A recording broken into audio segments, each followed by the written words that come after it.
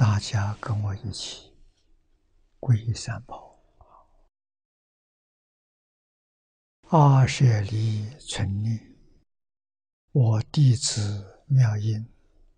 时从今日乃至命存，皈依佛陀、两祖中尊，皈依大摩利欲中尊，皈依僧伽诸众中尊。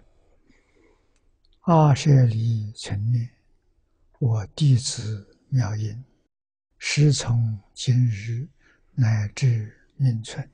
皈依佛陀，两祖中尊；皈依大摩利欲中尊；皈依僧伽诸众中尊。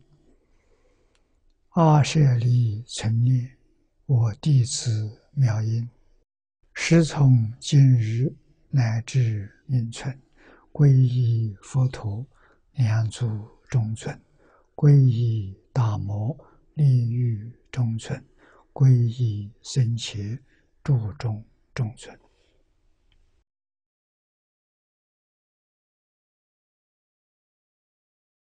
请看《大经科注》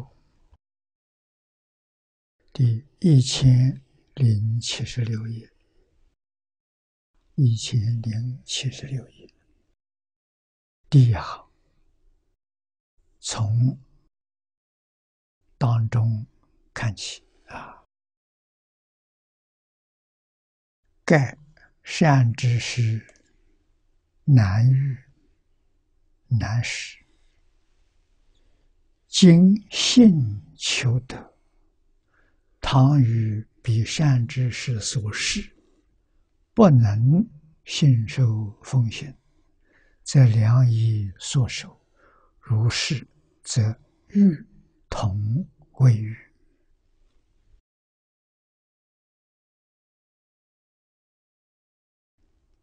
这些注解还是给我们说，遇善之时不是容易的事情。首先，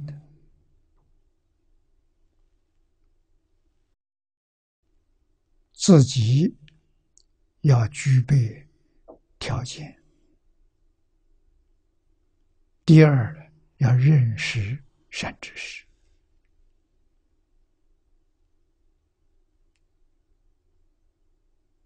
啊。所以说，善知识很难遇到，可遇不可求。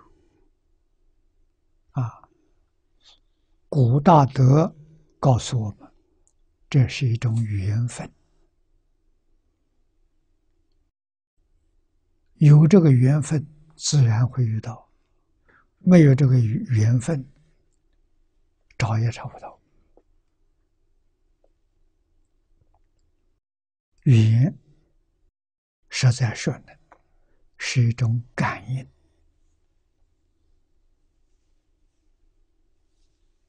啊，古大德教导我们，至诚感通，真诚到极处，就会有感应。啊，所以不能没有真诚心，不能没有清净心，不能没有恭敬心。啊，这三个心。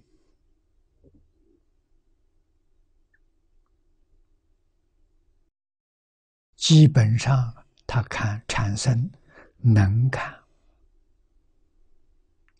我们能感，就有机会遇到。啊，这是属善知识难遇，没有这个条件的，跟善知识不起感应道交啊！遇到之后啊，要真的认识，不能够啊轻易错过。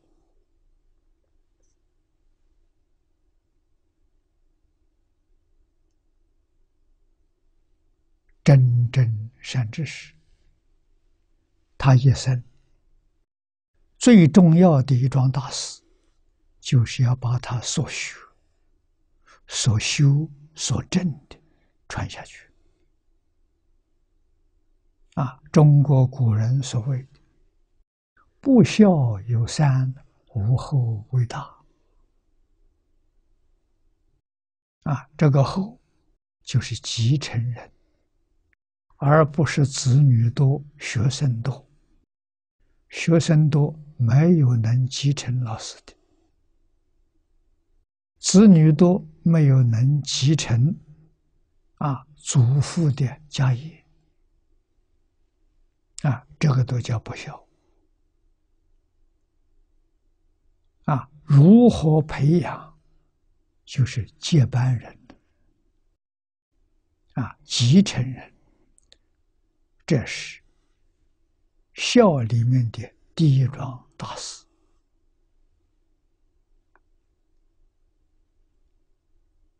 啊，所以做父母的人一定在子女当中留意哪一个孩子可以把他培养出来继承家业。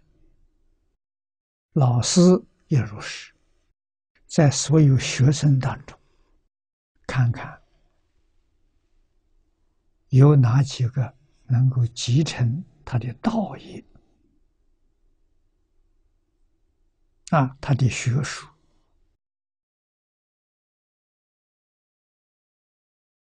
尽心尽力了，培养底下一代。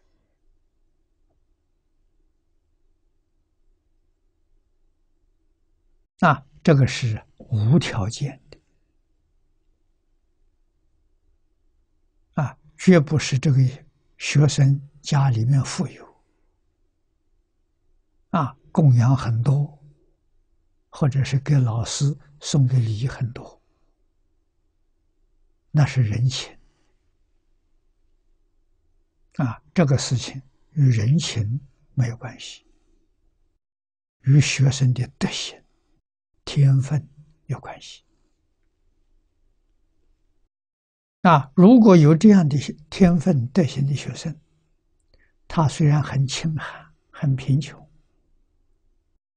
老师一定会帮助他们家庭生活，啊，要照顾学生的家庭，让他能够安心在学习，啊，对家里头没有后顾之忧，他才能学得成功。这是师道啊。世世代代不衰，古人懂得这个道理，也非常认真去做。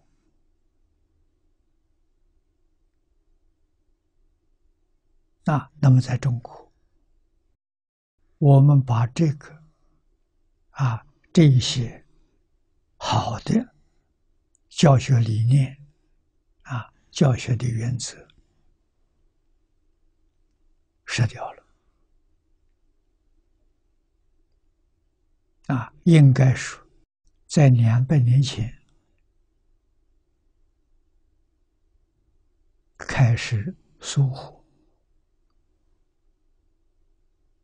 啊，对这桩事情不重视了啊，不像古代人对于这一桩事情真正作为人生第一桩大事来看待啊，非常认真。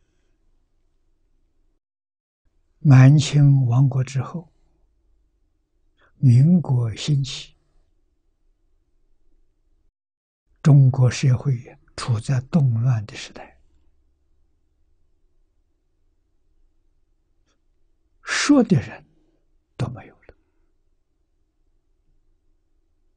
啊，这是最近这个一百年，所以让中国人对于中国传统感到非非常陌生。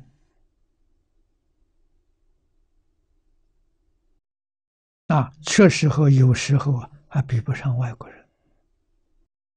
外国人对中国传统文化懂得比我们多。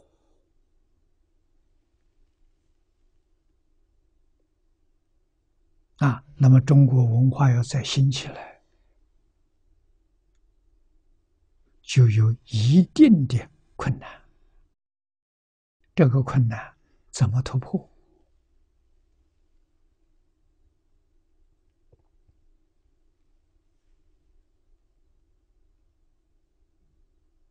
啊，那就是少数人、小地区。做成榜样啊！现代人所谓样板，让大家来看，让大家细心来揣摩啊！古时候这些智慧、理念、方法。有没有价值？值不值得学习？啊，等到大家有一定的认同，可以慢慢来扩展，啊，慢慢向全国来推动。这要长时间，我们丢掉两百年。啊，要把它恢复起来，至少也要三五十年。啊，不是我们现在人能看到的，总得到后两代。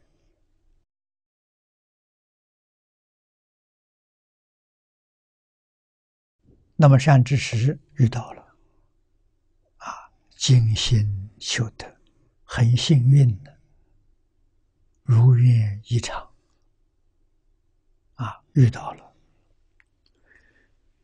要倘于彼善知识所示，啊，善知识所开示的，所教导的，不能信受奉行。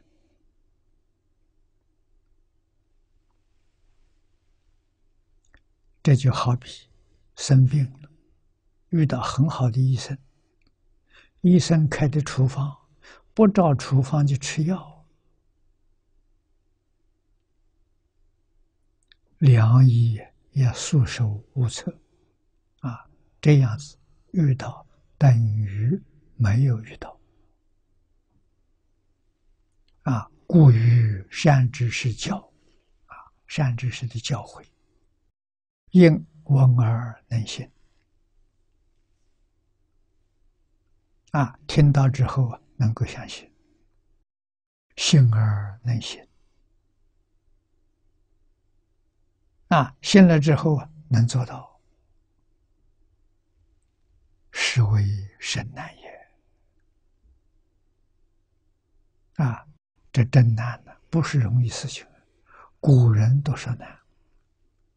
何况现在啊，上面说明的遇佛，佛是大善之识，闻经啊，日善之识，闻法能行，均极难得，甚为稀有啊，真正是难得。但此上。三者之难莫过于下旨，若问世间，信要受持，是乃难能中之难的，故云难中之难。啊，上面三者。与佛有善知识。难于难时。善知识的教诲难信难信啊，这已很难了啊。那么还有难中之难，难中之难是听到佛为我们介绍西方极乐世界，就是讲无量寿经。这个更难了。释迦牟尼佛讲经教学四十九年，四十九年当中，纵然是无量寿经多次宣讲，也不容易遇到。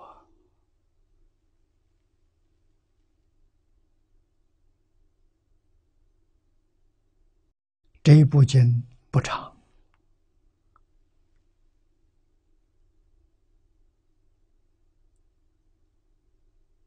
啊，离开注解，就这么厚的一本，不长。那佛讲这一部经，大概多少时间？我们估计顶多一个月。四十九年，这一个月讲这个月，你就能遇到吗？太幸运了。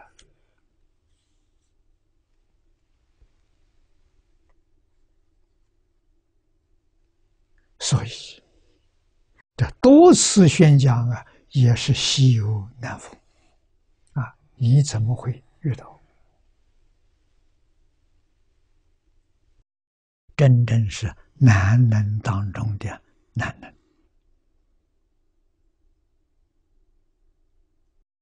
啊！听了之后能相信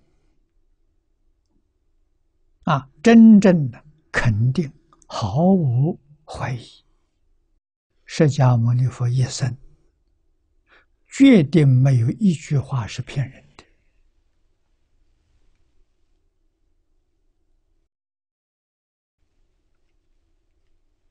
佛出广长舌相，给大众啊做证明。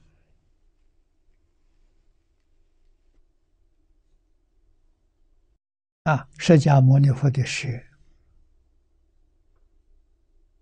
长、广而薄，舌头撑出来，可以把面孔盖住。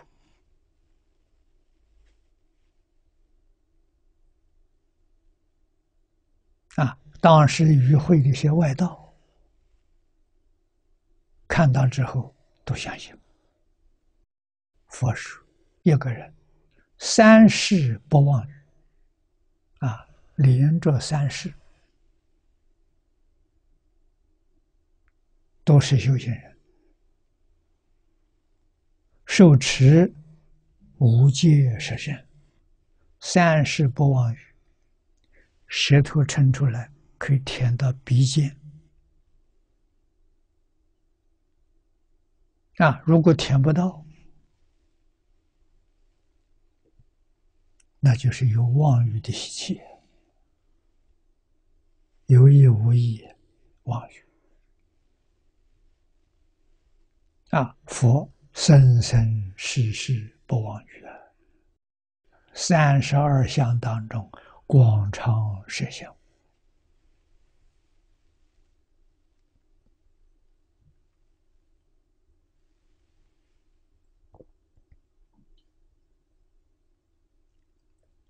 所以这是稀有难得，没有超过听这部经。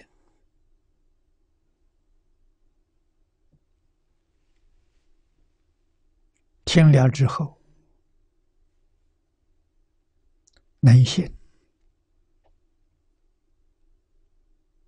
喜欢、真正发愿念佛求生净土，这太难了。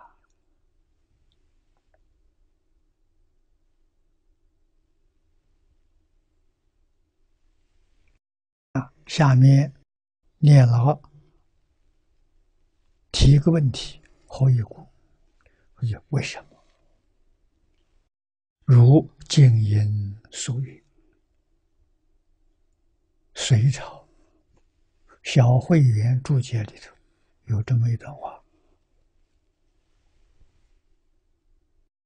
语义于法了，处处宣说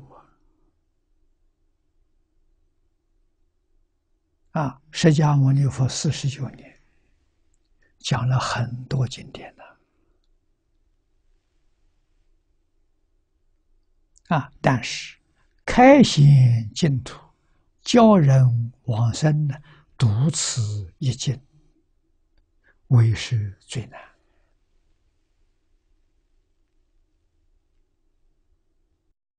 为我们开启极乐世界的大门。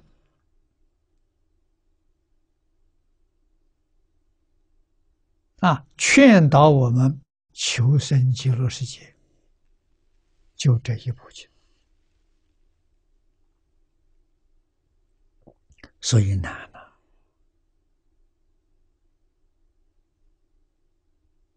很难遇到，遇到了也很难相信。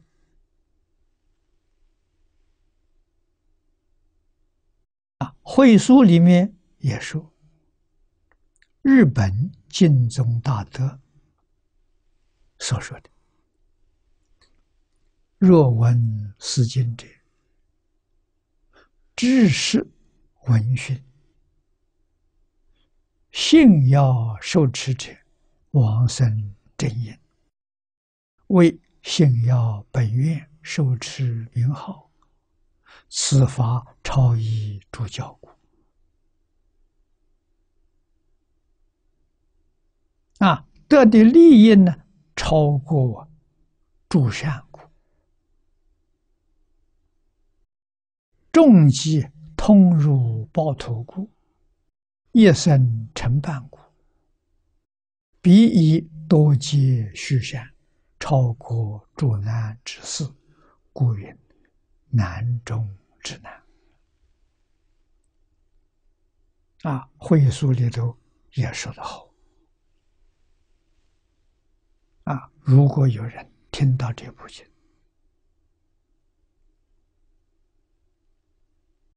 啊，遇到善知识，教导我们，帮助我们断疑生信，啊，让我们对于这种教法生起信心，爱好学习。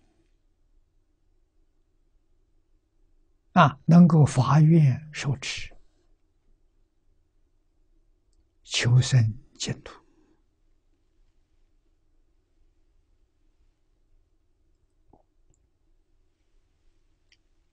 这个意思是，信要本愿，对于阿弥陀佛的四十八愿，深信不疑，啊，欢喜接受。啊受持名号，这个法门很容易修，非常难相信。啊，只要真正相信，有西方极乐世界，有佛号阿弥陀，阿弥陀佛曾经发过四十八愿。我们前面说过，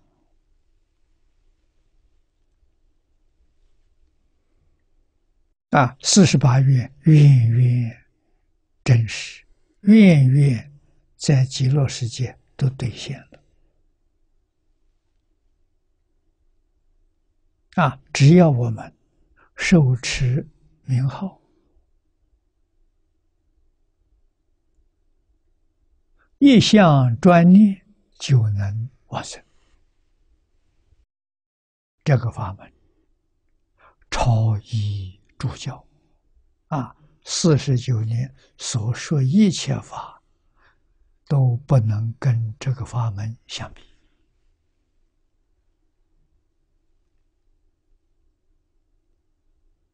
啊，所以得一超出诸善，诸善是八万四千法门，无量法门。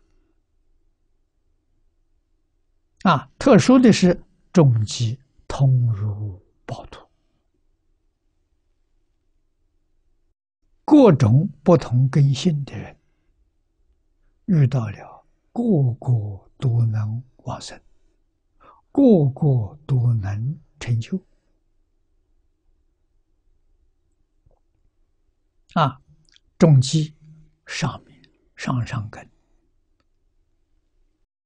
有法身大士、等觉菩萨，最下面的有无间地狱、恶鬼畜生。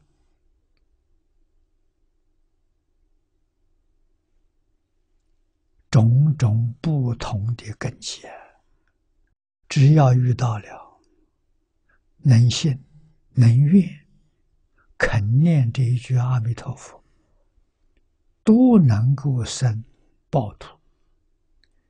这个“报土”两个字要特别注意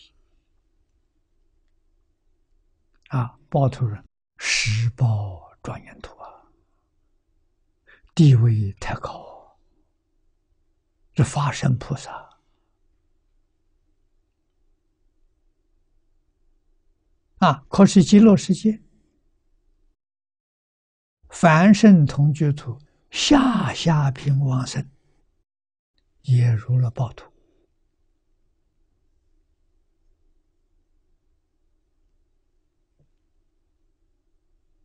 啊！怎么知道的呢？在四十八愿里面知道。我们这部经第二十愿，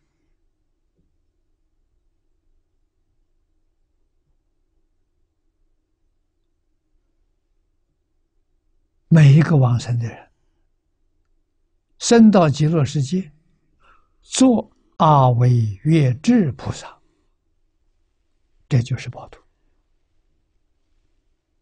啊！阿惟越智。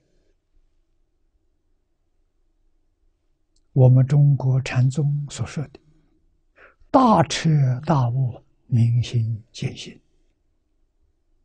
啊，这些人往生生十宝庄严土，这个宝土就十宝庄严土，它不是方便土，它不是同居土，极乐世界是平等世界，有没有四徒三杯九品呢？有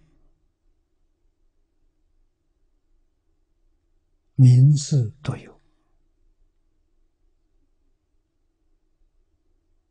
啊，三杯九品也有，不是假的啊。但是他的同居图跟我们此地同居图不一样。我们这个同居图是绘图，他的同居图是净土。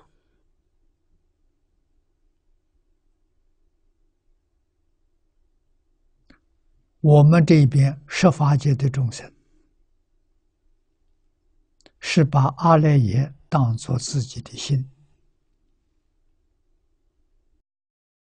把阿赖耶的相分的一分，以为是自己身体。错了，完全错了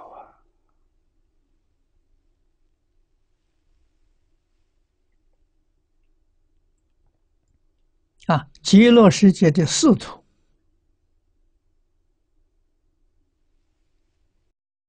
都离开阿赖耶了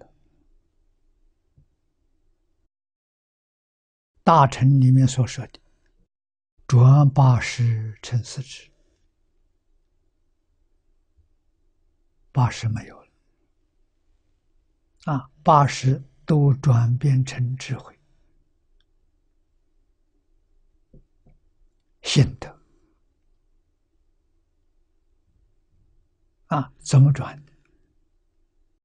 不知不觉。往生的时候在莲花里面转变的。往生的人把这个身体放下了，不要这个身体了，啊，灵魂。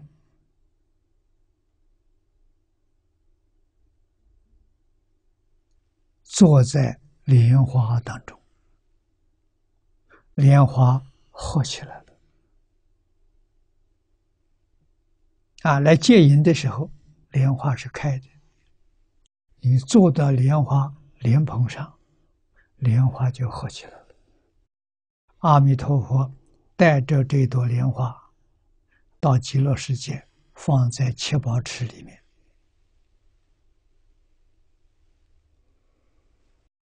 花开见佛，这个在花的花里面完全做了一个转变，转八十成四智，转凡成圣啊！所以花一开，见到阿弥陀佛，就得到阿弥陀佛。四十八愿的价值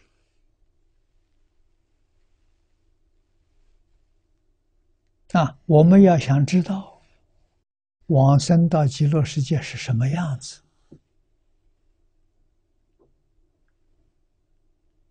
你好好去读第六品啊！第六品就是阿弥陀佛的四十八愿。啊，四十八愿，如果看不懂，黄念老这个注解说的非常详细，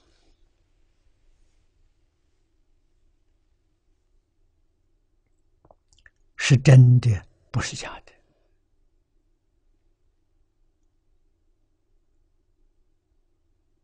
啊，所以虽然在名目上。你是凡圣同居土啊，下品往生。实际上，在极乐世界的受用，无论是智慧、神通、道力，跟十报土的化身菩萨没有两样。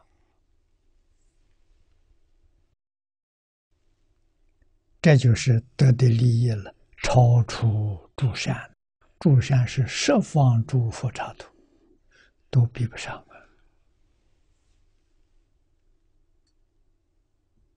啊！啊，种种根基，牺牲十报庄严土，啊，这是从实质上来讲的，不是从形象，所以。一生成办啊！一生真得究竟圆满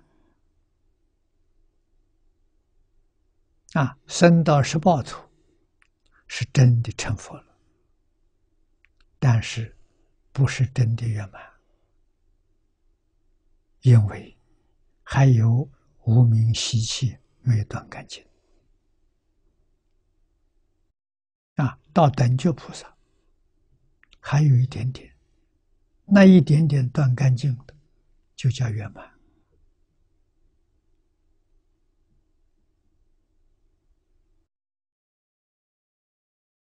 圆满是什么样子呢？圆满的时候，十八图不见了，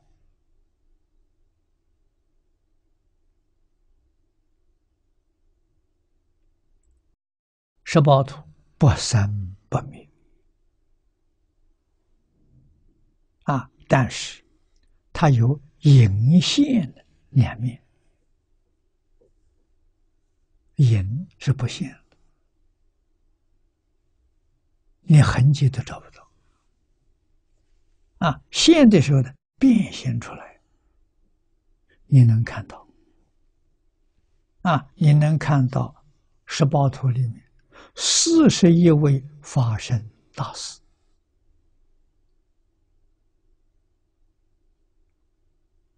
啊，那就是说有无名习气没断干净，他就现；无名习气断干净了，他就不现了，他就隐。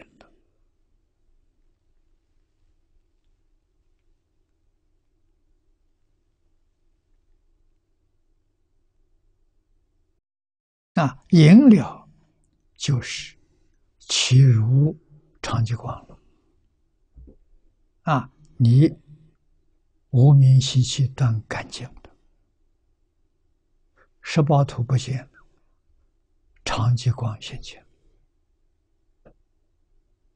融入诸佛如来常寂光中。啊，每一个等觉菩萨，无名破了之后，通通入。长久光。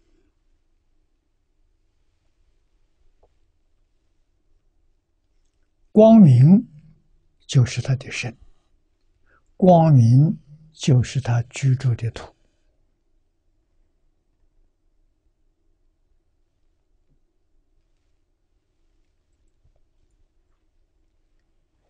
啊，那么这样的人不是普通人呐，这个不是中奖啊，很幸运的，不是的。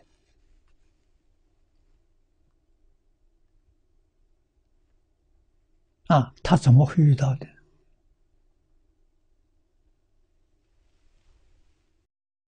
这个地方说了，彼以多劫续然。大乘教里头，佛说的没错。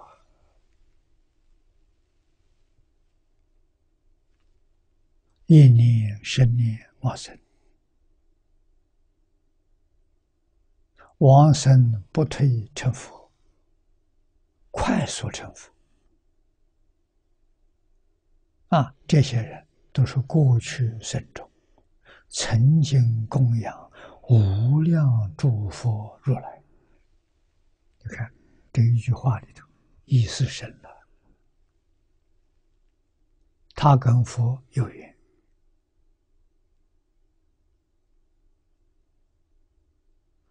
他在过去无量劫里面，曾经供养无量诸佛如来，累积的大善根、大福德。大因缘，在这一生呢，一念之间成熟了。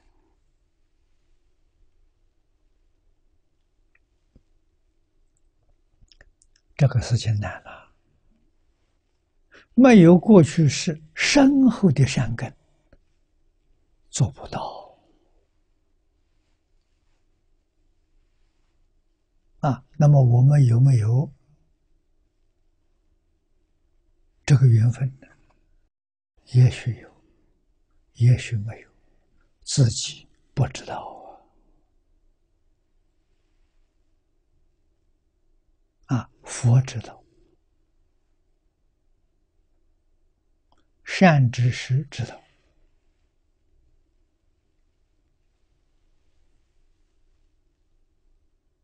我们自己如果切入的时候就知道了。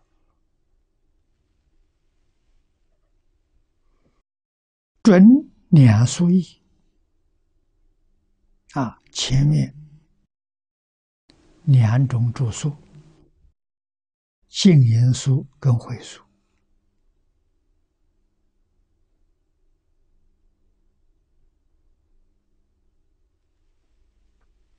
啊，他们都说这个人于第一稀有，难闻。难信之一生承办的妙法，这就是无量寿经。啊，《无量寿经》确实是第一稀有，很难听到，很难相信。啊，他的确是一生成就、一生圆满的无上妙法。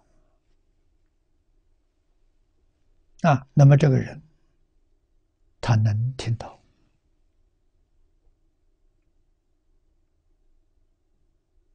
他能相信，他能接受，持是能够依教奉行，当知世人必是多皆熏修，俗中善根，难能稀有。超过一切，不是没有原因的。啊，这一生没有遇到，偶然一个机会被他遇到了。这一遇到，把他过去生中无量劫以来生生世世修习的善根，通通现前。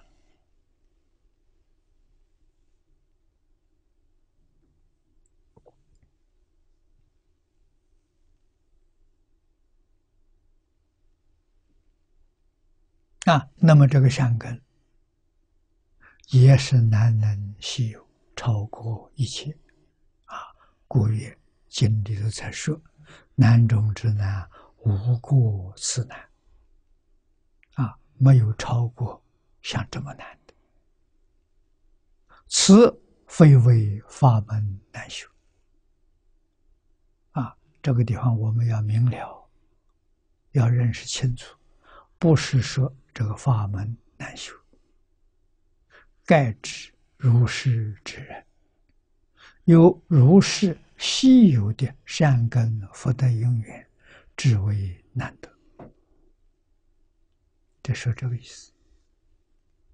这个人过去生中生生世世修集无量的善根福德因缘，在这个时候现前起作用。这个作用就帮助他能信、能愿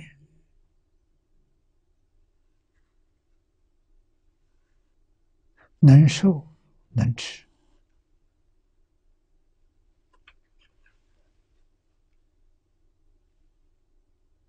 啊，真难呐！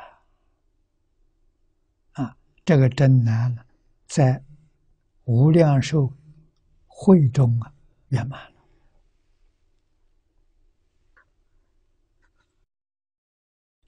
我们看底下这一段，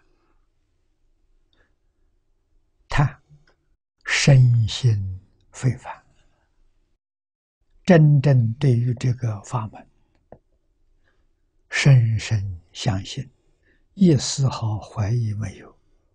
佛说，这个人不是凡人。我们看经文：若有众生得闻佛声，慈心清净，荣耀欢喜，以毛为起，何类出者？皆有前世曾作佛道，故非凡人。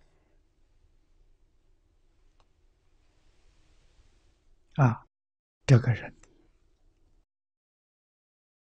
听了之后，能受感动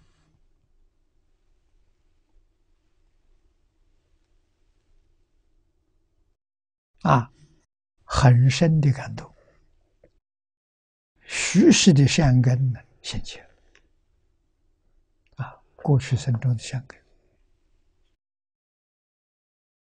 才有这个现象出来。我们看注解。德文佛声，是汉译的经文，无以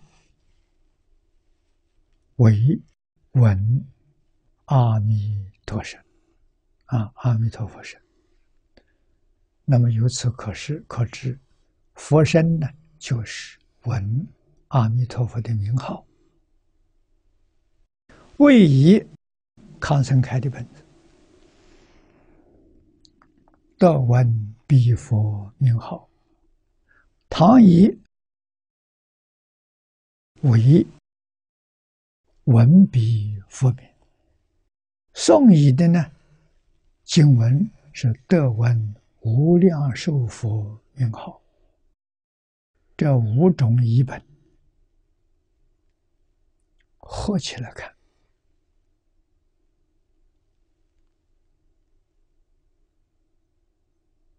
故知佛身就是阿弥陀佛的名号啊，一点都不错，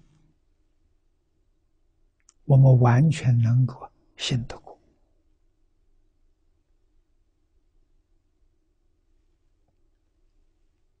啊。闻闻者，闻名信受也。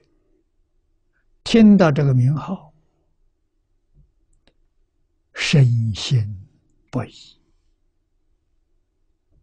欢喜接受，以名居万德，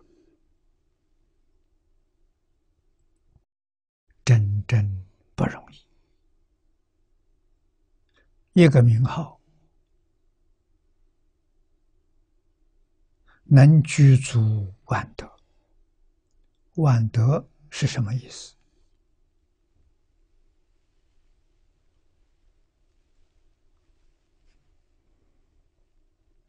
这一个名号可以代表十方三世一切诸佛的名号，念这个名号。就等于念了十方三世一切诸佛的名号，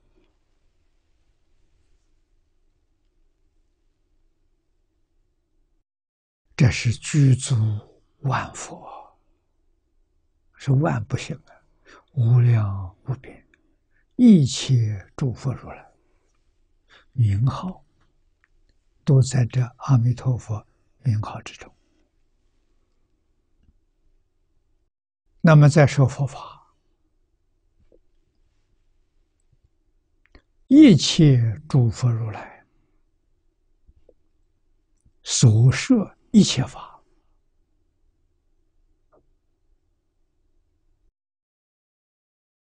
八万四千法门，无量法门，也在这一句名号当中。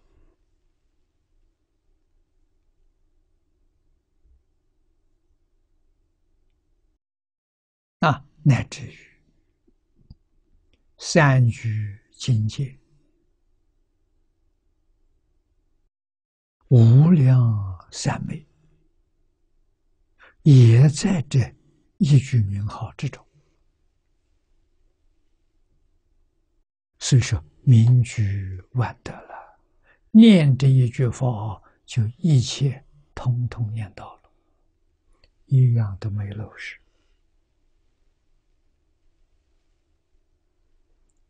我们真正搞清楚、搞明白，能不念佛吗？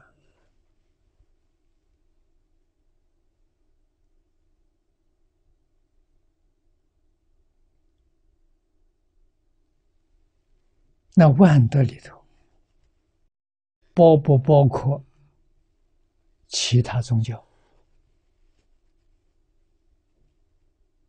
啊，道教里面讲的太上老君。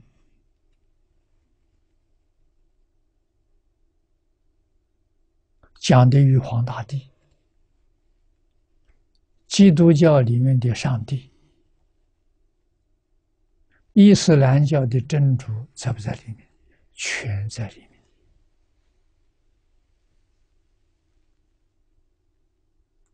啊，全宇宙包括进的一句名号，同包括了，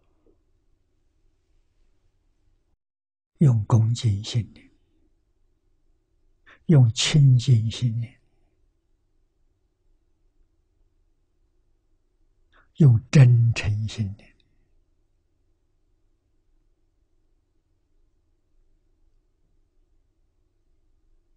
啊，于是我们才体会到，为什么念一声佛号能消八万亿劫生死重罪？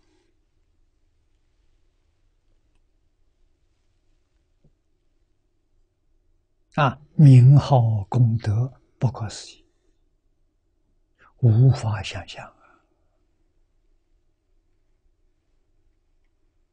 啊！啊，真搞清楚。真搞明白了，我相信你念佛决定是分秒必争，你不会轻易放过一秒钟。哎，一秒钟可以念念一声佛号，你把它放弃了，这一秒就可惜了。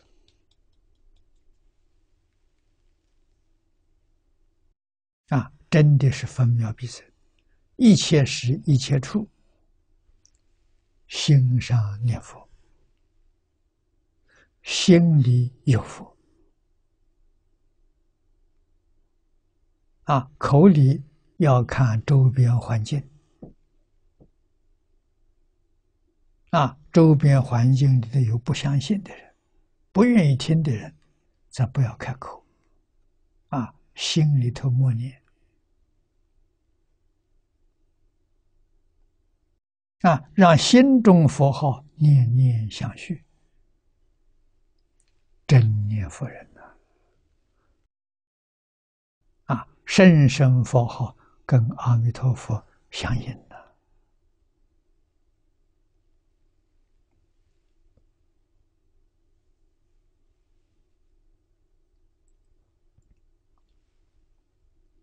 啊，能令闻者慈心。清净的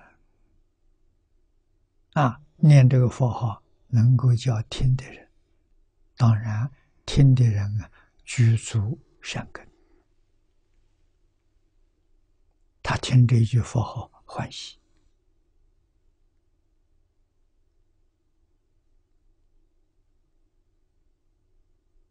啊。我们还有新的发现，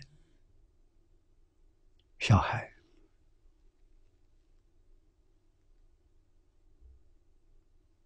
啊，两三岁的小孩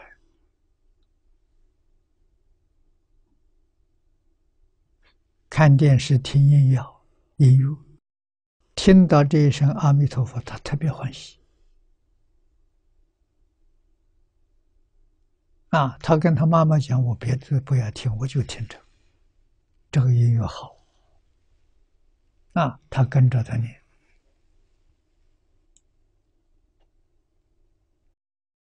这个有善根的，没人教他啊。徐氏善根深厚啊，所以听的人啊，慈心清净，慈心发起大慈悲心，清净纯净无垢啊，心底里头没有烦恼。没有喜气，欢喜内心喜乐，荣耀欢心奋起，行于牲口啊！我们跳舞，手舞足蹈，欢喜啊啊！一毛为起，指遍体毛孔开张。啊，汗毛竖立，这都是欢喜的样子。啊，被佛号音声之所感动，泪出眼中流泪。盖如是之人，皆从佛道中过去生中，生生世世学佛，阿赖耶识里头，佛的种子多啊，啊，见到佛像，听到佛的名号，啊，听人家念佛的声音，他不知不觉的。受了感动。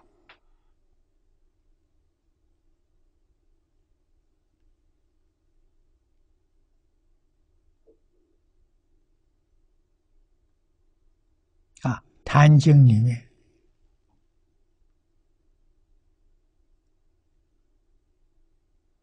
所说的六祖慧能大师，二十四岁，年轻人，樵夫卖柴的，现在这个行业没有了，啊，上山砍柴，跳到城里去买。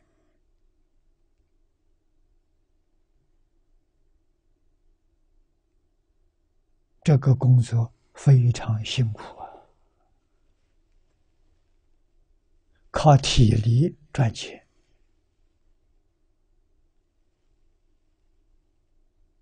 啊，养活他的老母亲。他们一家就母子两个，相依为命的。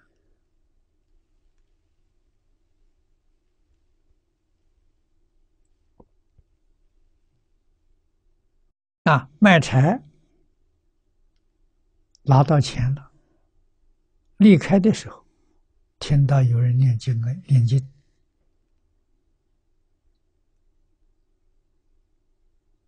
啊，从前窗户我们知道没有玻璃，纸糊的，所以里面听经，外面能听得清楚。啊，他听了，觉得很有受益，一直听，听到人家把经念完了，他就敲门，向念经的人请教：“你念的是什么？”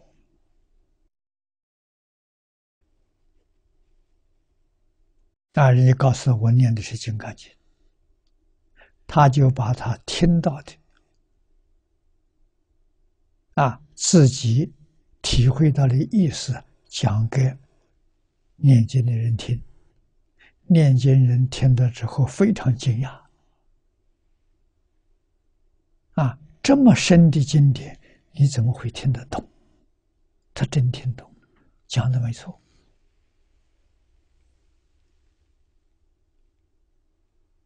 啊，被这个念经人发发现了，那是个人才啊。稀有难逢啊！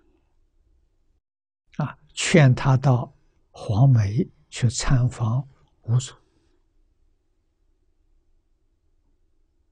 啊，知道他生活很苦，家里还有老母亲。啊，所以这个人很难得，真正是好的佛教徒，懂得护法。啊，给他十两银子。做安家费，找了一些学佛的朋友，啊，大家轮流照顾他母亲，让他无后顾之忧，安心到黄梅去学法。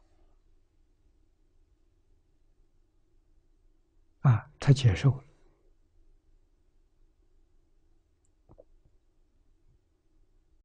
那么我们相信。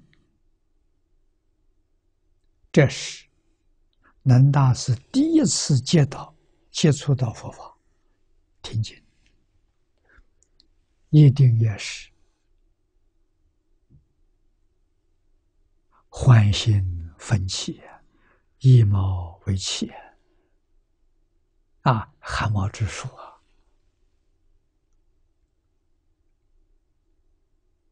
啊，慧能大师为这个念经的居士。讲解他听的大意，我想那个人听到也是汗毛直竖，啊，也是经上所说的“一毛未起，眼中流泪眼，受感动啊！啊，才这样热心的去帮助他。啊，道黄梅《坛经》上记载的很清楚，见到五祖了，五祖问他：“你来想求什么？”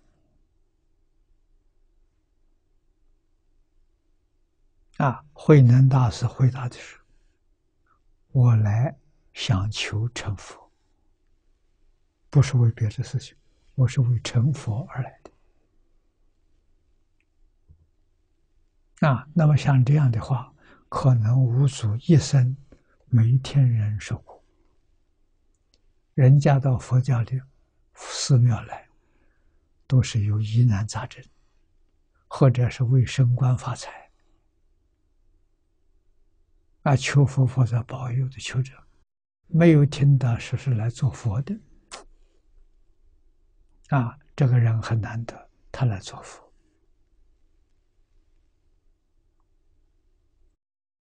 来做佛就得要帮助他成佛，啊，怎么帮助？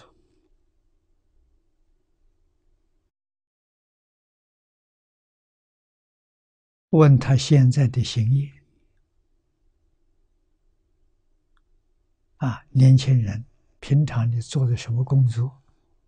啊，樵夫、卖柴的。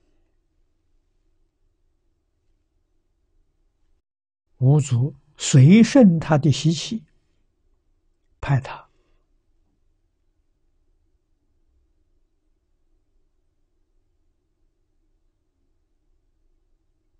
到柴房里面去舂米破柴，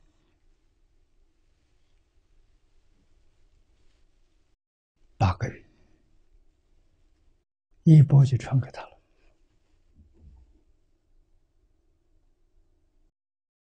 舂米破柴是佛法了。大乘经上说：“会的，会修行的人，哪一法不是佛法？法法皆是。不会的，《金刚经》《无量寿经》《华严法华》都不是佛法。为什么？”不能叫你开悟，佛法就是叫人开悟的方法。啊，一切法你只要会，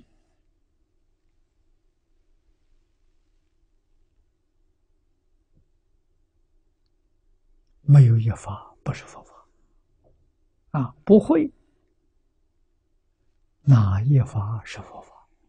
没有一法是佛法。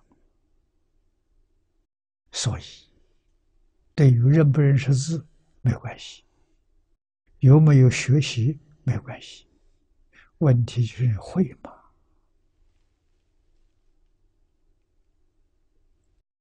这个会是你的心看到了、听到了，有所体会啊，这个体会是。体会是觉悟啊，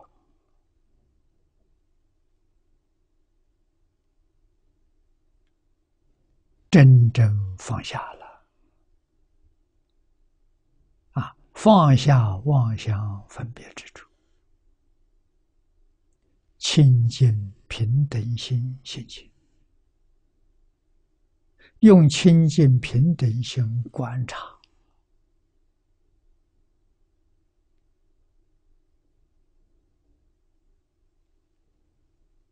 一切法，一切法皆是佛法。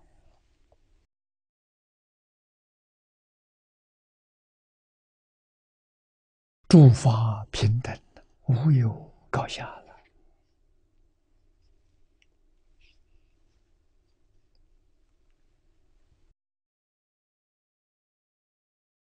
在楞严经上佛所讲的二十五种圆通就是成佛的方法。二十五种，慧能那个冲于破柴在里头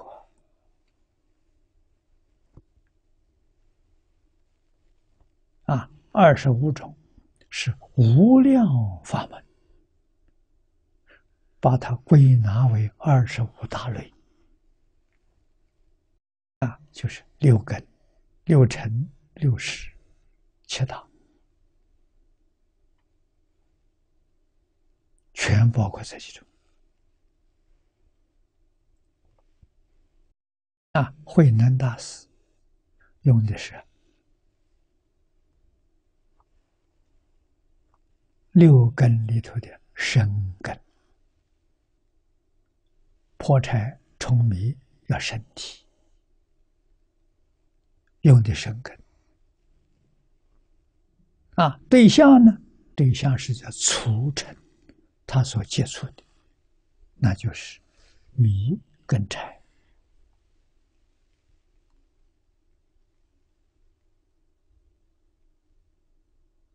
啊，生根在除尘里面入定。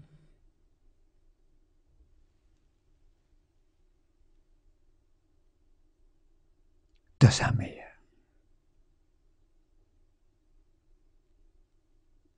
啊，久而久之，就大彻大悟，明心见性，它有道理在呀。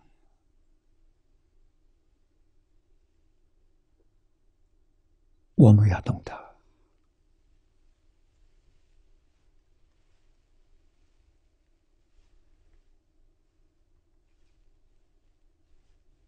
啊，每个人根性不相同，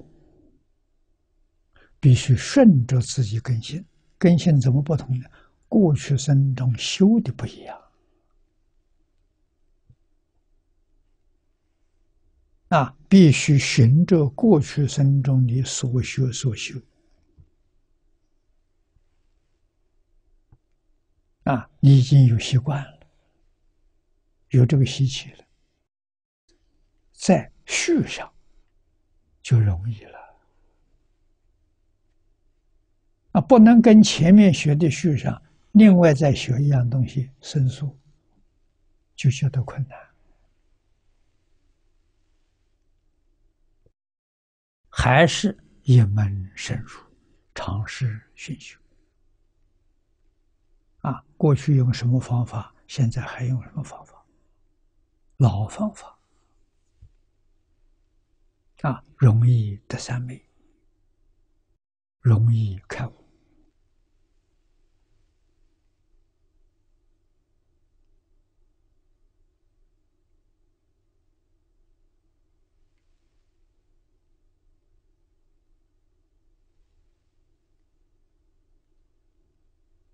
啊，所以这些人都是从佛道中来。啊，佛所得的无上菩提叫佛道，《法华经》方便评说，是诸佛世尊等，皆说一乘法，化无量众生，令入于佛道。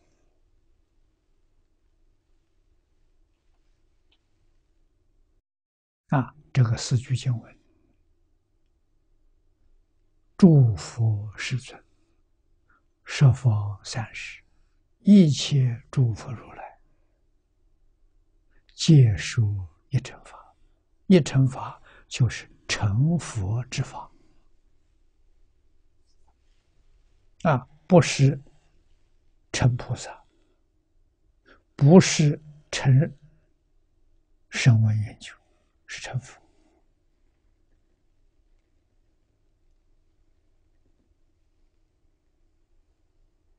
啊，成佛当然要有成佛的根性，阿赖耶识里头有成佛的种子。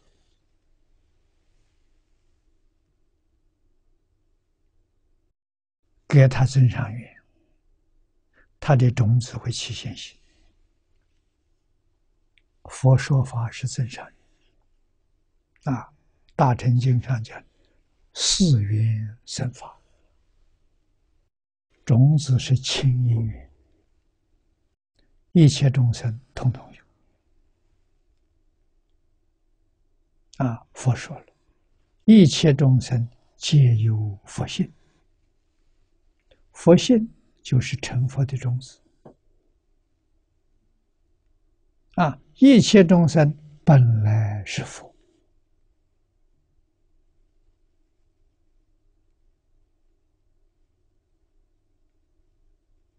都是从此而说的。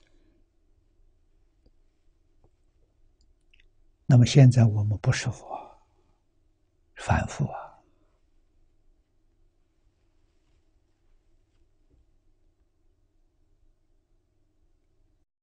我们的佛性在不在？在，没丢掉，只是迷了，迷在阿赖耶识里头。佛性是真心，阿赖耶是妄心，阿赖耶是生灭心，真心不生不灭。啊，我们今天用这个心就是思想。啊，其实思是第七识，莫那识；想是第六意识。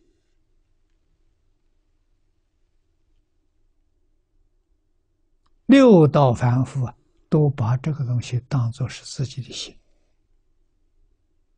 把这个肉身当做自己的身，这都是错误。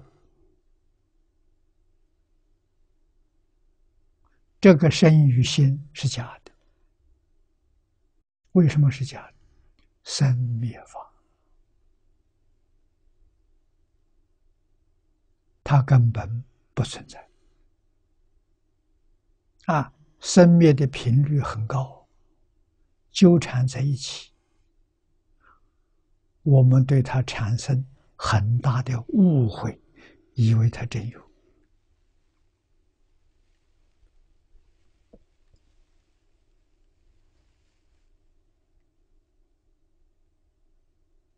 那，弥勒菩萨告诉我们，生灭的频率是一秒钟一千六百兆次。啊，一秒钟里头有一千六百兆次的生命就在眼前，我们不知道啊。啊，弥勒菩萨知道，《大乘经》里头常说，对这个事实真相，八地以上都知道。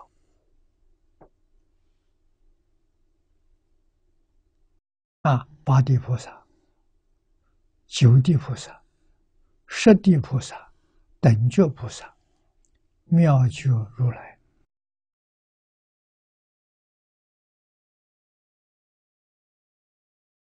这五个位次全知道。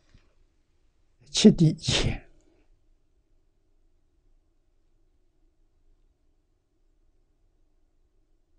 知道，没有真的。啊，我们也是现在知道这个事情，没真的，没看见的，八地看见了，就在我们身上看见，就在一切物质现象当中看见，甚至在你起心动念之处看见。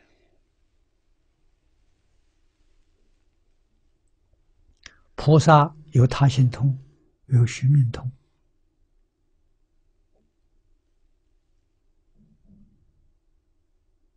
啊，我们凡夫确实在面前不见不闻，完全没有感觉到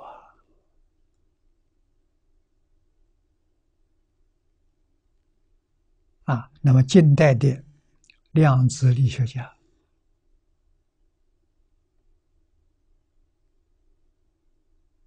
啊，我看一份资料，是德国普朗克的报告。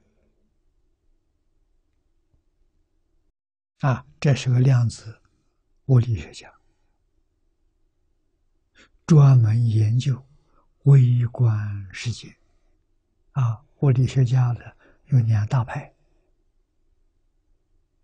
啊，前面一派是研究宇宙、宏观宇宙，宇宙从哪来的？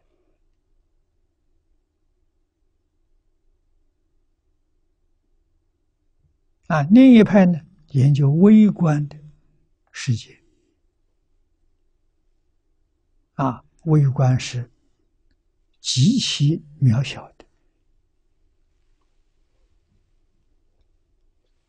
啊，八十年前，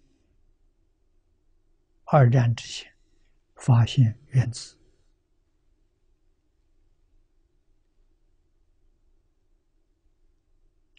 这八十年来。科学的进步啊，可以说是突飞猛进，日新月异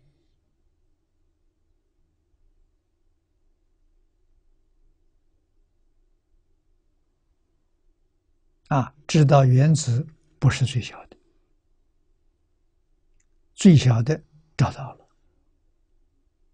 佛经上讲的极微色。啊，也叫做极微之微。啊，它不能分了，它分没有了，就空了。科学用的方法跟佛经上讲的完全相同。啊，就是把这物质现象给它分析，分到最后没有了。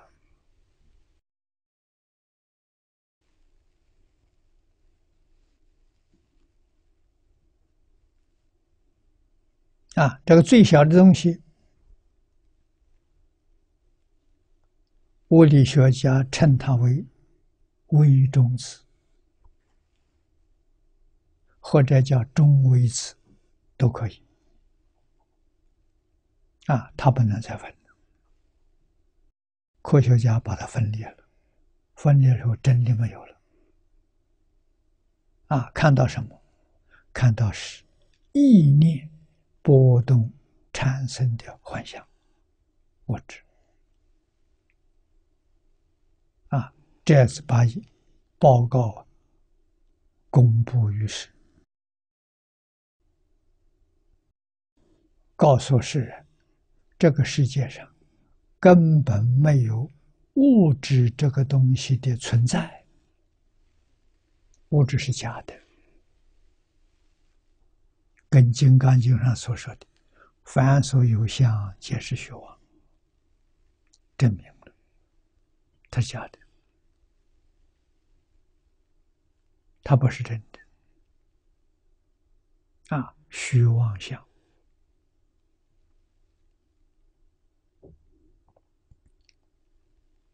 凡所有相，皆是虚妄。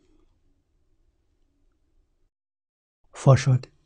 不但是物质现象，精神现象、自然现象，全是假的，没有一样是真的。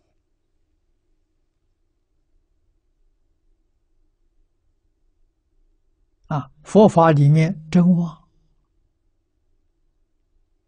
有一个标准，这个标准就是生灭，有生有灭就是假的。不生不灭，这真的。阿赖耶有生有灭，阿赖耶的心心所，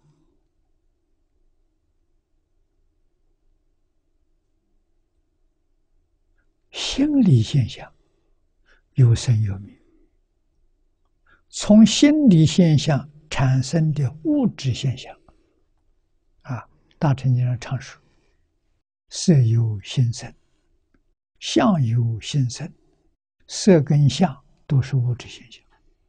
物质现象从哪来的？从念头来的。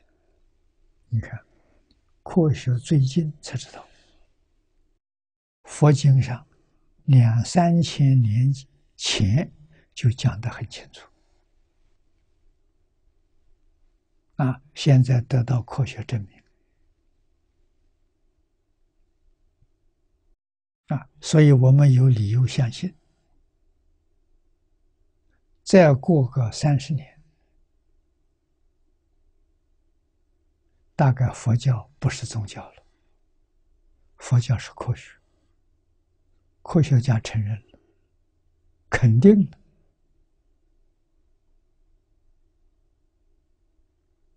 啊，宇宙这些奥秘，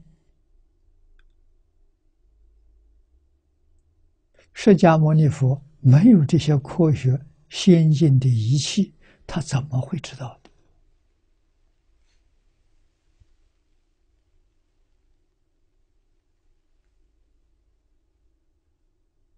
啊，科学家在研究，在想啊，他说很可能，人呢有一种本能。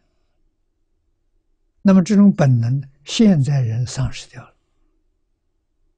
古时候人有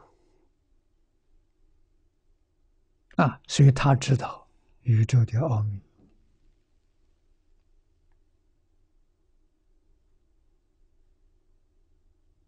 啊，科学这个推理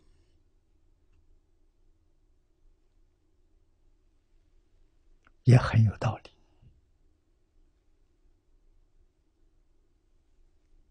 真的是本能，本能佛法里面讲的无私智，没有老师教，你有这个智慧，自然智啊，到时候自自然然就通达，就明白了，是真的。只要心清净，只要心平等。啊，清净平等心生智慧啊！那么我们现在用的生灭心、假心，生灭心里面生烦恼、生妄想、分别、执着，生这些东西，不生智慧。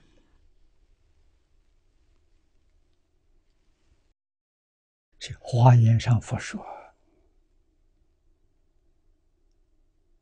宇宙之间森罗万象，我们看到的宇宙啊，为心所现，为识所变，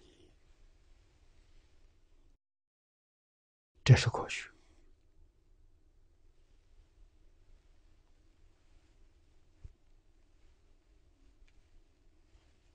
啊！慧能大师告诉我们：“何其自信，能生万法，万法就是宇宙。”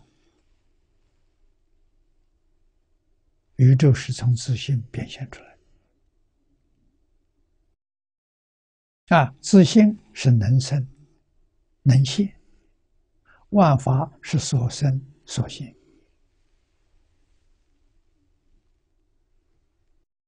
啊！佛又告诉我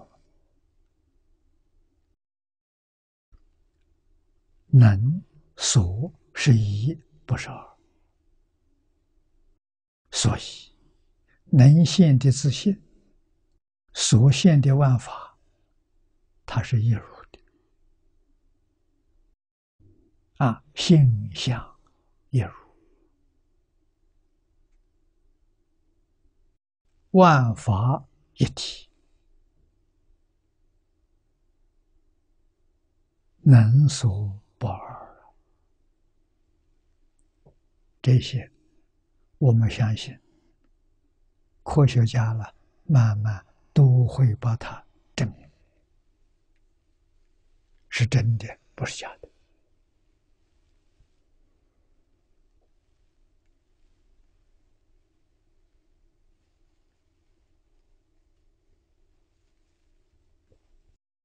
那么《法华经·方便品》里面所说的“十方三世一切诸佛”，啊，世尊就是诸佛，都说一乘法了，教化无量众生的，个个都成佛。啊，这个一手记的意思。清清楚楚、明明白白的告诉我们：佛法是教育，佛法是教学。啊，宗教里头只承认一个上帝，决定不许可人要做上帝。佛教里头说成佛，最高的成佛，人人都可以成佛，没有一个不成佛，不一样。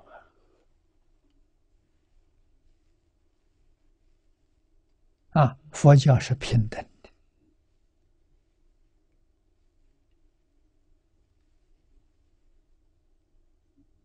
佛是老师，众生是学生。老师跟学生的地位是平等的。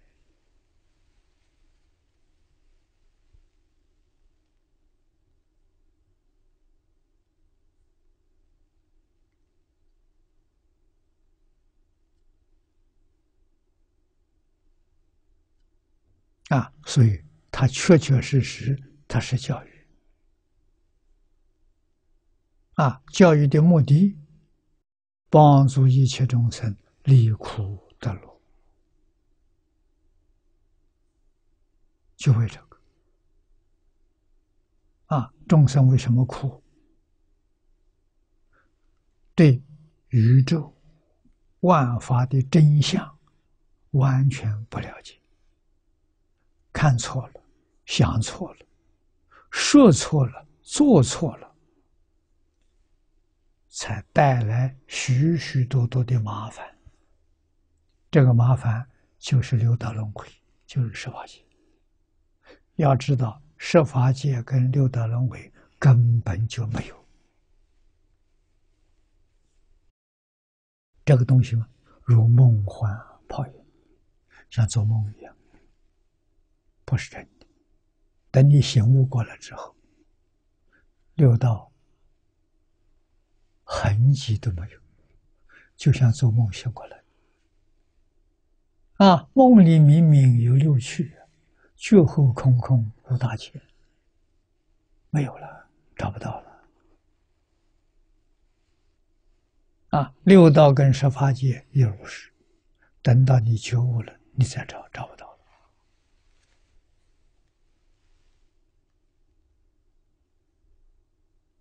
我们现在很难相信，很难体会。等到哪一天成阿罗汉了，阿罗汉脱离六道轮回了，你就知道，轮回是一场梦。啊，醒过来之后的境界，所看到的是神，声闻缘觉菩萨佛，啊，比六道。高明多了，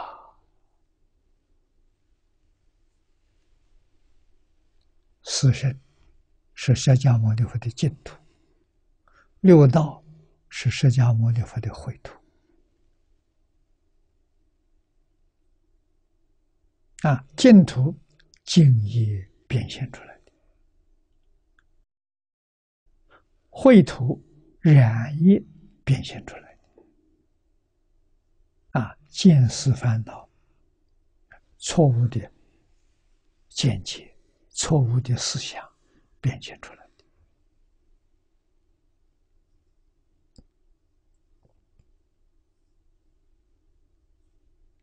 的啊！错误的见思断掉了，没有了，六道就没有了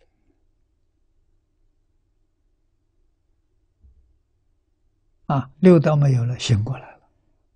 醒过来怎么回事？情醒过来看见净土了。那回想六道是一场噩梦，从噩梦醒过来了。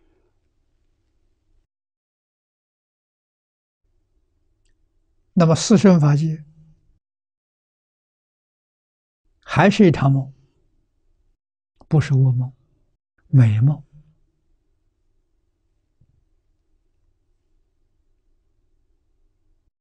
你在这个梦中很欢喜。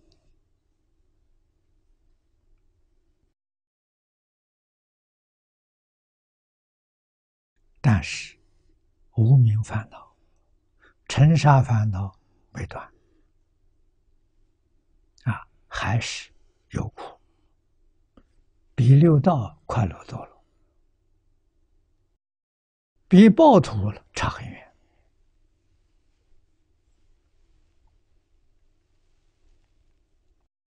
所以，在这个里头修行，佛菩萨来照顾大家。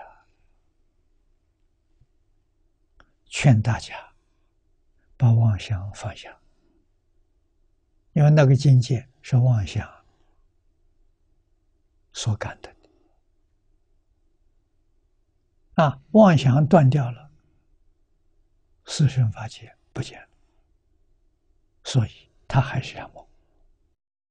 醒过来之后就是宝土，十宝庄严土，一真法界现前。啊，这个里头真正可以说是极乐世界。啊，人的寿命长，而且永远没有衰老，它是真的，真就是不生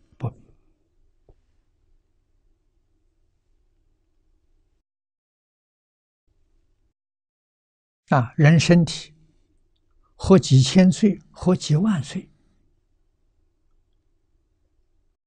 相貌还像十八岁一样，不变的，永远不变，永远年轻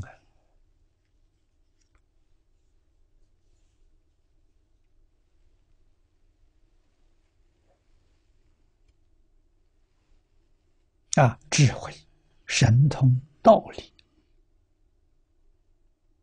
都跟佛差不多。啊，这讲极乐世界，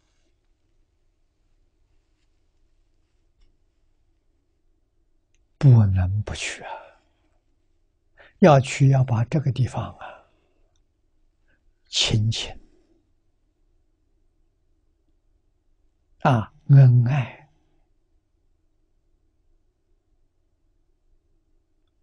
这是你喜欢的，还有你讨厌的冤亲债主。要通通把它了结掉，通通放下，不能放在心上，放在心上，极乐世界去不成。通通放下了，一心一意求生净土，决定得胜。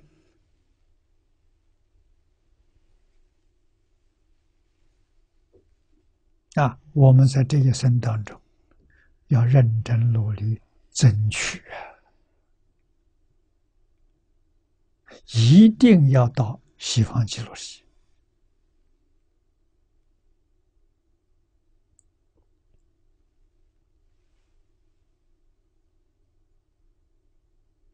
我们继续看下面注解：又因行明道，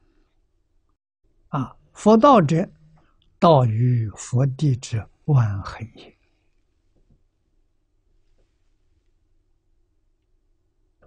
实在讲，能到佛地的方法无量无边的。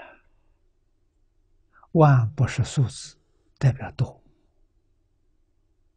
啊！无量无边的方法，哪一个方法都行，只要你会用。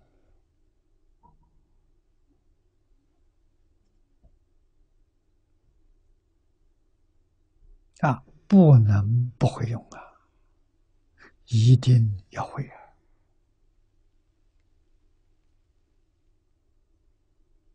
啊！啊，实在不会呢，念阿弥陀佛就会了。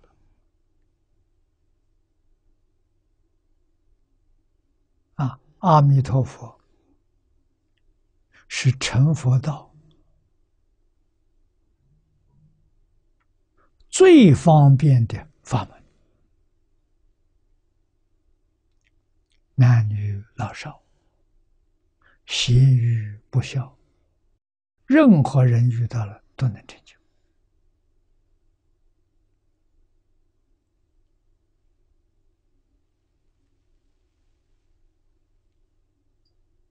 啊，我们前几个月看到一份报告，一个十岁的小孩念佛往生，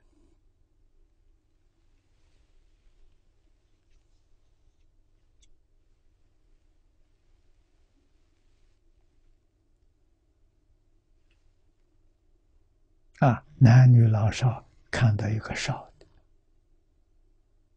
这个孩子七岁，啊，他父母学佛，做早晚课念经。他七岁问他爸爸：“你念的什么？”爸爸给他念的佛经。什么叫佛经？啊，他把《无量寿经》里面所说的讲给他。儿子听，小孩听了之后非常欢喜。这么好的地方，这个爸爸，你能不能带我去看看？啊，爸爸告诉我不行。这什么人行？阿弥陀佛行。啊，阿弥陀佛在哪里？爸爸告诉他：“你念阿弥陀佛，阿弥陀佛就会带你去看。”啊，他真的就开始念佛，念了三年，十岁。啊，往生的前一天，告诉他爸爸：“明天阿弥陀佛来接我回老家，我明天要回去了。”第二天真走了。啊，他还让他的爸爸请他的亲戚朋友。啊！邻居大家都来看他往生，真走了。十岁的小孩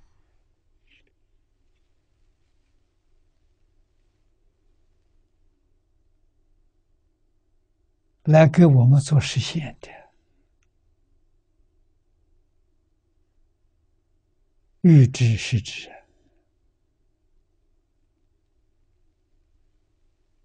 一点都不假，没有生病啊，没有丝毫痛苦啊。时间到了，说走就走。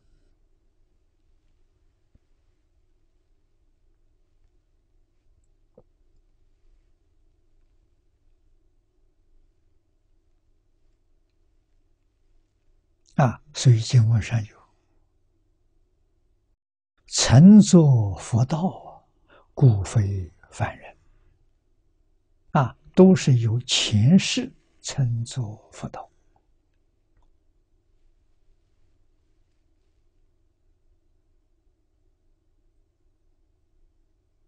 前世学过佛的，行过菩萨道啊，这是佛对。发心求往生的人一种赞叹，正如《金刚经》曰：“若当来世后五百岁，其有众生得闻是经，信解受持，世人则为第一西游。”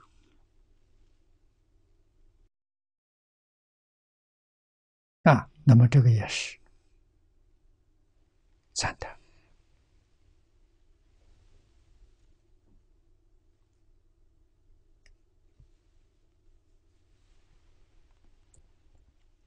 后不五百岁，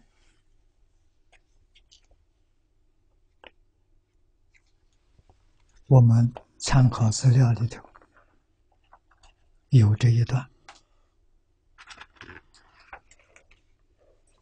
啊，最后的一段，三藏法术五五百年。啊，这个条目五五百年者，就是五个五百年，那如来出世正法。相法、末法的年数。为正法一千年，相法了一千年，末法一万年。那么现在以两千五百年分为五个五百年，啊，也就是一万两千年佛的法运当中。前面五个五百年，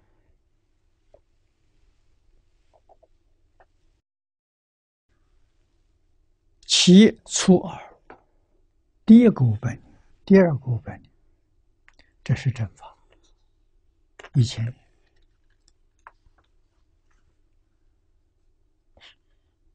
有修正解脱禅定之人，啊，有修。有正啊，得到解脱禅定。那么次两个五百年是相法时期，人虽有修行而无正果，唯有多闻不识之者。啊，后面五百年呢是末法一万年的。第一个五百年，那么这个时候的人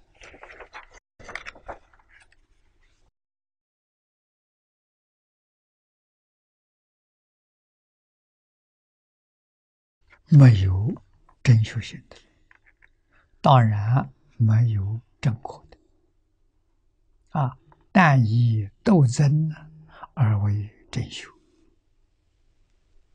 以法有盛衰不同，故分此五五百年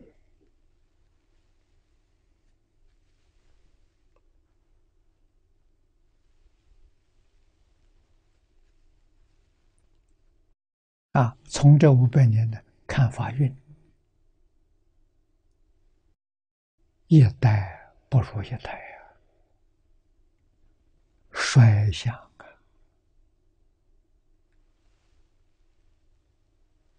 啊，下面为我们细数。第一个五百年叫解脱坚固，啊，解脱就是自在之意，为诸必求，在正法五百年当中，不公义学，唯物大成，利益众生。解脱自在，坚固不变。啊，对于释迦牟尼佛的遗教，没有分别，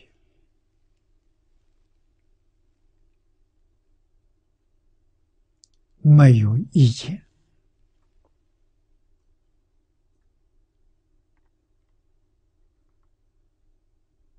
啊，虽然佛灭度之后。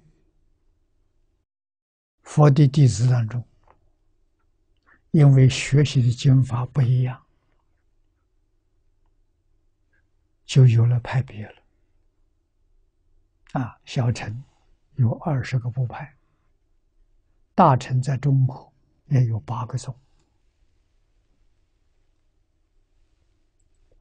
但是都承认我们是一个老师。啊，释迦牟尼佛传下来的，不是假的。啊，像亲兄弟一样，啊，没有争执，互相尊重，家和万事兴。这第一五百年，但到第二个五百年呢，杜比丘于正法五百年当中，厌居生死，求真涅槃，顿息攀缘，深修禅定，坚固不变。第二个问题，这还是正法，正法一千年，这第一个一千年，啊，前面五百年，解脱坚固，有修有证。第二个五百年的时候能修到禅定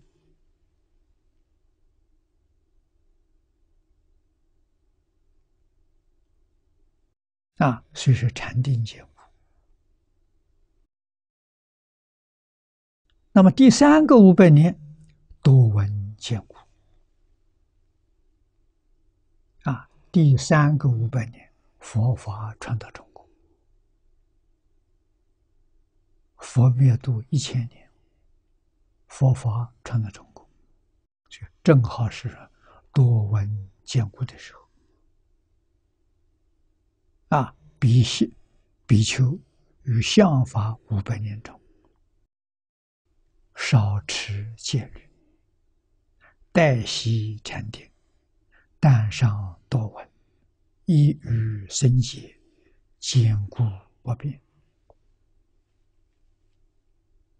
啊，随着中国大臣祖师大德讲经教学，这个风气很深。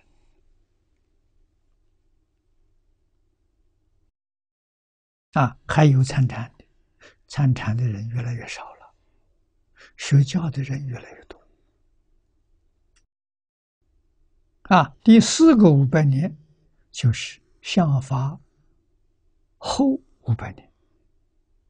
塔寺坚固，为诸比丘于相法五百年中，少息禅定。你看戒律没有了啊！习众福田，广结善缘，多修塔寺，坚固不变啊！像梁武帝是。多修塔寺的一个代表啊，他建的塔寺最多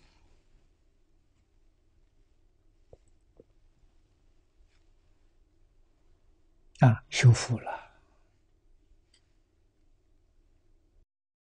第五个五百年呢，都增坚固。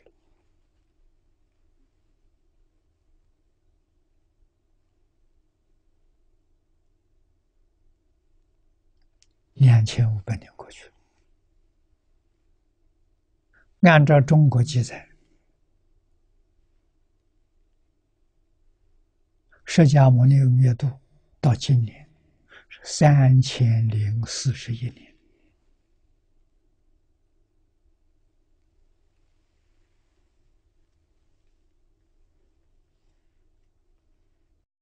那，我们看到佛教的觉灭，是确确实实。都拯救啊！为诸比丘于末法五百年中，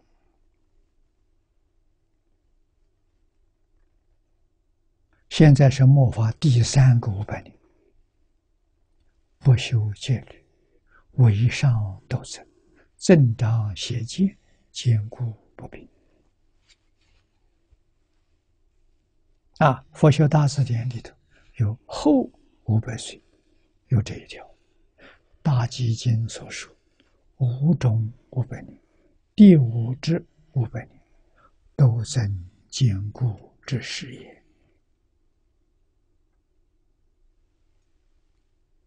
这是释迦牟尼佛在《大基经》里头所说的。啊，现在出家人都增坚固。是佛所说的。如果要是不斗争了，那佛的话就不灵了，那佛就说错了。啊，佛说斗争坚固，果然现在是斗争有。这佛说的话高明，完全被他说中了。啊，所以末世。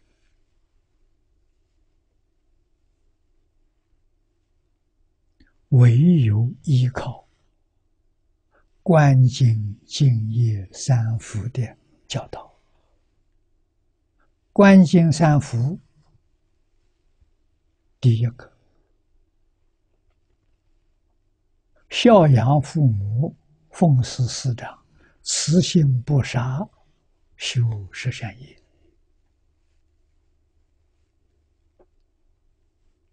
啊，那么还要学戒、修定、开会，孝亲尊师，履行《弟子规》。慈心不杀，落实在感应篇，然后修十善业道，八关斋戒。啊，修定呢，一门深入，长时熏修，这是修定。开智慧呢，读书千遍，其义自见，注重在自见。自见就是你有所体悟，啊，你能体会到你开悟了，这一点很重要。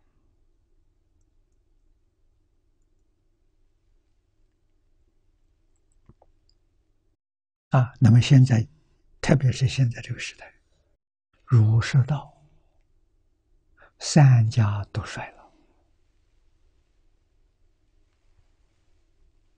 啊，老师找不到了。在我这一代的时候，那个时候，儒释道还有几个老师，不多了，凤毛麟角。真想学还可以学，那老一代过去了，都不在了。我们这一代跟上面一代比，有很大的差距，怎么办？下一代要不如我们，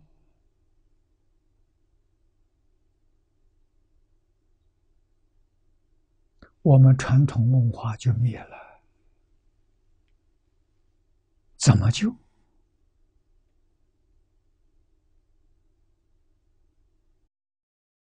真正能救的方法，一定要依照古人。读书千遍，其义自见，自己开悟，像慧能大师的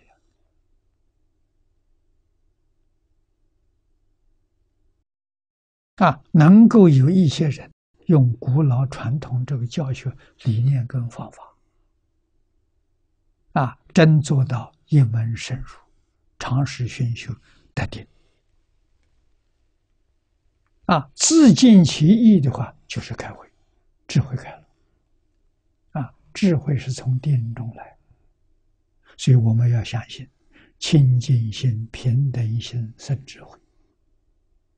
啊，要这传承传统文化，传承大乘佛大乘佛法。不能不走这条路，除这条路之外，没有第二条路可走。啊，这条路学科学的人不相信，但是它是一条正路，啊，肯定有效。今天时间到了，我们就学习到此地。